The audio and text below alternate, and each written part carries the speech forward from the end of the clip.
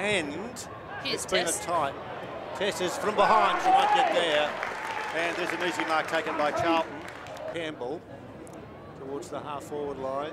Gore kicks long towards full forward. It's a pretty reasonable kick too. Now, there's going to be a... Not quite, couldn't take the grab. Sturt under a bit of pressure. Hand pass uh, back to Gore. Minutes.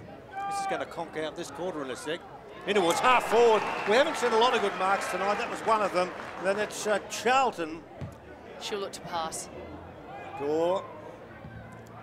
Kicks long. Get back there. Oh, mark in the square. That's Was that number 25, Charlton? What a grab that was. had a big impact in these past five minutes. Charlton comes in. Charlton kicks a goal and South lead by that margin. Goddings there, goes to Bennett. Bennett on the left boot. Kicks, it's rolling, it's rolling. It doesn't have to roll much longer. What a good thing.